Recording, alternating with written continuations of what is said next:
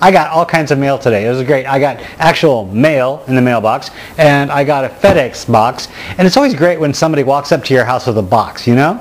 That's always a good day. So, I'm going to open this up with my handy dandy little knife. Have you ever seen such a cute little knife? I cut you. I cut you, man. I cut you good. Now, before I open up this box, I wanted to explain something to you, but I don't want to actually teach you anything because this isn't the Praxis channel. This is the Voodoo Garden channel. I like to just talk to you and have a good time. So, I'm just going to tell you what I'm doing here, but I'm not trying to actually teach you to do anything. How's that sound? These look like ice cream cones, don't they? From a distance, don't they look like ice cream cones? I'm not wearing my glasses, so they're kind of fuzzy, so they actually do look like ice cream cones. And ice cream would be good on a day like this because it's kind of hot outside. But these are not. These are light bulbs. Okay, here's how it works. Uh, these are called compact fluorescent bulbs, and that's because they're all squished together. They're not the long tubes. Also known as CFL, compact fluorescent, uh, compact fluorescent lighting. So this one uses 26 watts of power and puts out 100 watts of light. Not a bad trade-off. So that's actually pretty good and this is what I started my light fixtures out with and my plants did really good.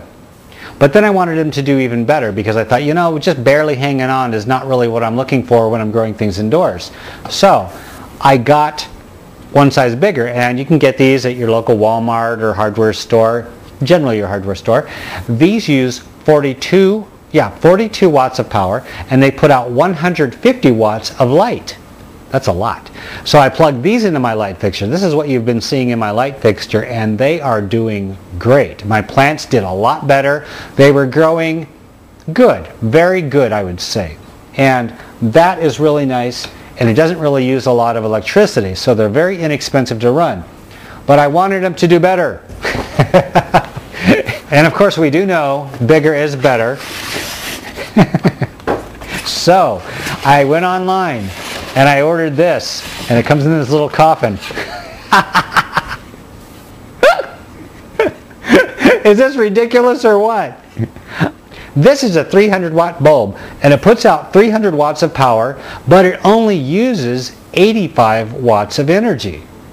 Not bad, huh? So it doesn't really use a lot of uh, energy, less than a 100 watt bulb. A little bit more than 75. It's like 83 or 85 or 80 or something like that. Puts out 300 watts of light. That is a bright light.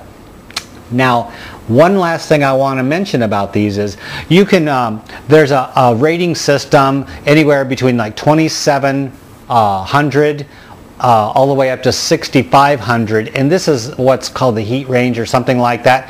The higher the number, the more like actual daylight it is and the better for your plants it's supposed to be. I normally don't go in for that. The ones that you see at the store are generally 2700 and those are called soft white CFLs. That's what these things are. These are not. These are more of a white light, whereas the regular CFLs are kind of a yellowish light and they're very comfortable to have in your house. These are very bright, stark white light. Not the most comfortable thing in the world, but the light is a fuller spectrum and it's good for your plants. So I thought, ooh, I, uh, yeah, that's actually what I thought. I thought, ooh. So I got these and I put these in my light fixtures. I bought six of them. And um, tossed them in there and wow, what a difference. It does make a heck of a difference. The increased wattage and the increased spectrum. Now I didn't want to go to um, crazy halide lighting or any kind of strange stuff. Uh, I wanted to keep it compact fluorescent because I like compact fluorescent. I like the energy savings balanced with the cost. Now you can get these 100 watt bulbs for you know a whole pack of them for like three dollars, a six pack for three dollars or something like that. Very inexpensive. This bulb will cost you around nine dollars. Not so bad, but it puts out a lot of light. This one costs me $19. Yeah, you might think it is, it's expensive, but when you think about the extreme amount of light that you get and you're growing indoors, you can grow anything, anything indoors with that kind of light. But um, I kind of got an addiction going and I couldn't stop and I couldn't stop myself. So I thought, well, if 300 watts is good, I know, I know, I need an intervention. And they are, they're an event. it's beyond light bulb. I think this is phenomenal. It is just beautiful. And it's also the high spectrum light, which means it's going to be the extremely white light. And it's going to be so bright that you don't want to look into it. This is like having the sun in your house. And you would think with such a bright light it's going to be hot. Nope. It's not hot at all. It's, it gets warm, but it doesn't get hot. I mean, you could actually touch the bulb while it's running and you don't burn yourself. All right, and now we come to the best part of the video. My favorite part of the video is the mail part. And um, not because of what I get, but the fact that I do get stuff in the mail and I want to share it with you. I actually bought some seeds. These are deadly nightshade seeds and they're also known as belladonna. Belladonna is an extremely poisonous, extremely deadly plant. People throughout the ages have killed people using various methods and one way was to use belladonna. The reason they use belladonna is because the berries are extremely delicious. Birds can eat these things and it doesn't harm them because the chemical in belladonna, deadly nightshade, does not affect birds. So birds will gobble these things up all over the place. People, on the other hand, do not take well to deadly nightshade. It will kill you. It will kill you dead as a doornail. No doubt about it, this plant is deadly. It is so absolutely deadly, yet the fruit is so absolutely delicious. I mean, normally if something's going to be deadly, it's going to be bitter, it's going to hurt. You know, like you shoot somebody, that hurts. Stab somebody, that hurts. If you uh, eat arsenic, it's, you know, bitter or something like that. Belladonna is not like that. Belladonna is the sweet good night.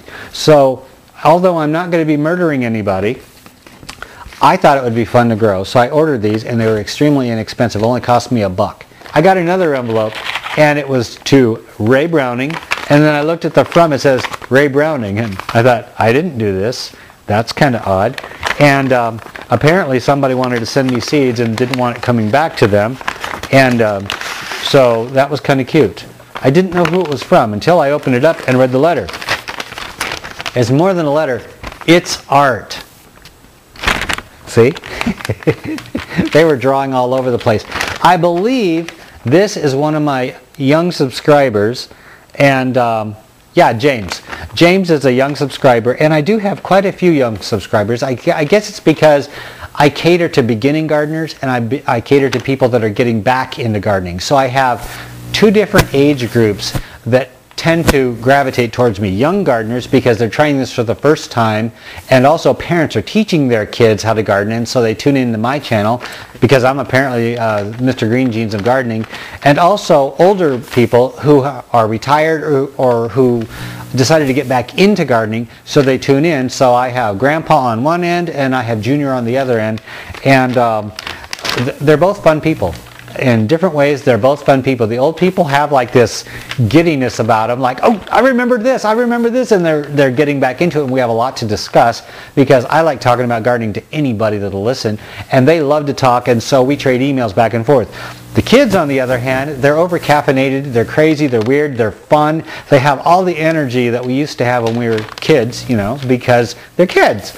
And so I get letters, and there's drawings and there's words and there's smiles and there's happy stuff and they're just so glad to get a hold of somebody who isn't going to make fun of them for what they want to do and who encourages them to do what they want to do. And that is me. I encourage everybody to start growing if they want to. If you don't want to, hey, don't do it. Plant grass and, you know, go play a video game. But if you want to grow something, I am definitely there to encourage you. And that is what's so nice about the young gardeners because they have all the energy. But one thing that I've noticed with the young gardeners, they tend to have the attention span of a house plant too because I've noticed a lot of these young gardeners that I encourage, they start up strong, they get going, they're making videos for YouTube, they're growing everything, and then they kind of fade off. And I think it's just because of their age. They find other things to do, you know, they find something shiny over there and they just kind of move on. They go into their teen years and they discover the opposite sex and they're out there dating or they have school, they have sports, they have the summer, and they just kind of forget about gardening. But hopefully the things that they learned and the things that they've tried will come back later on in life and they'll do it later on in life. So I still encourage them, even though they may not stick around, I do encourage them because hopefully later on in life it's going to come back and maybe they'll have kids and they'll teach their kids and so it just continues on and on. And this is why I keep encouraging the kids to grow. And if you ever see a kid doing a channel on YouTube, encourage them. Toss them a good comment and say, hey, you're doing good. Give them a little bit of advice, but also, you know, tell them that they're doing a good job because that's what they really like to hear. And I notice that they just get so energized when you tell them, yeah, you did this right, because they want somebody to notice that they're doing something good. And that's what I do. So, now that I've rambled on and on and on and probably edited half of that out, um, I got so much stuff. I don't even know if I can take the time to mention this, but baggy upon baggy upon baggy. I mean, I literally have everything for a garden here, from peppers to carrots, corn. Some uh, he sent me corn and uh, cucumbers, radishes, all kinds of fun stuff. And of course, the art is going to be something I'm putting up on my wall. I got to keep this. I mean, come on. If somebody takes the time to draw me pictures like this, how can I toss it away? I think it's wonderful. And uh, by the way, James has a channel, and uh, I don't know how to spell it because I can't read his writing. But James, if you're watching, which I hope you are, post a comment and let people know what your channel is, okay? Because I want them to know that you're actually doing videos. And if you're not doing videos right now, you might want to get one done because people are going to go to your channel and they're going to see your channel and wonder why you're not doing videos. So, that was a fun one. Nick sent me a big old padded envelope. And um, what did Nick send me? Nick! Hey, Nick! Why am I yelling? I got a cordless mic here. Hey, Nick. Oh, Nick sends me corn too. What is it with you people? You want me to grow corn, don't you? Because I didn't grow corn this year. I keep getting corn, so I don't know what this is. It just says corn.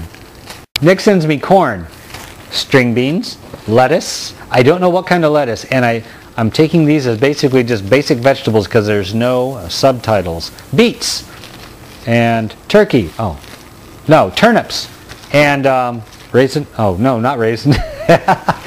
Ray can't read upside down. These are radishes. So Nick sent me radishes, and so did James. So now I have like tons of radishes. Ooh, you know this will come in handy when I'm growing these in the winter time. So this is extra cool.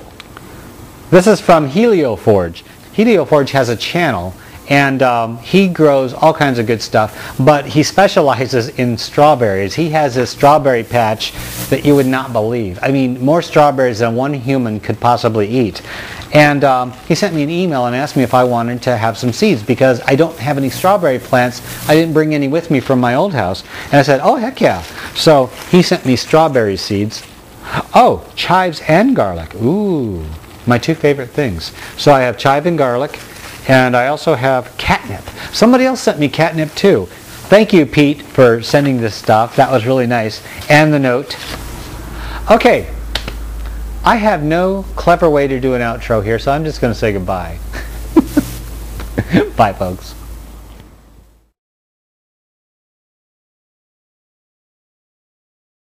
I'm not going to lick a light bulb for you. I won't do it. I won't do it.